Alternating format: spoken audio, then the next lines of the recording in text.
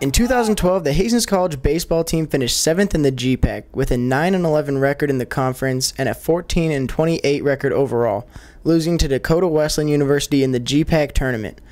This year, they are expecting a different outcome with a new head coach and Steve Spongberg. Spongberg has coached at Sutton Public Schools for 27 years, where his career record for baseball is 1,261 and 497 overall, and he is excited about what he can bring to Hastings College baseball.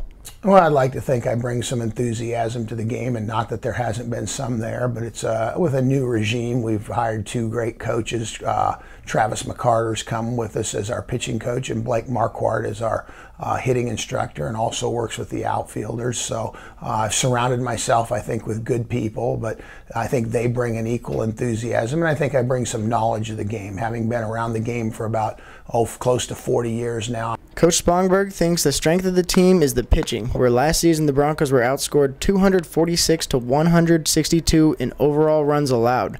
The major emphasis for improvement will be on the defensive side of the ball if the Broncos want to be able to compete in this tough GPAC conference.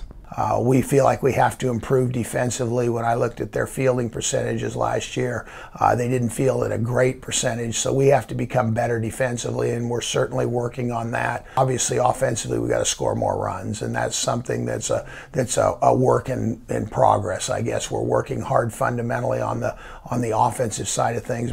Due to the renovations here at Duncan Field concerning the press box, dugouts, concession stands, and the bathrooms, Coach Spongberg isn't even sure how much the Broncos will be able to use its home field this season.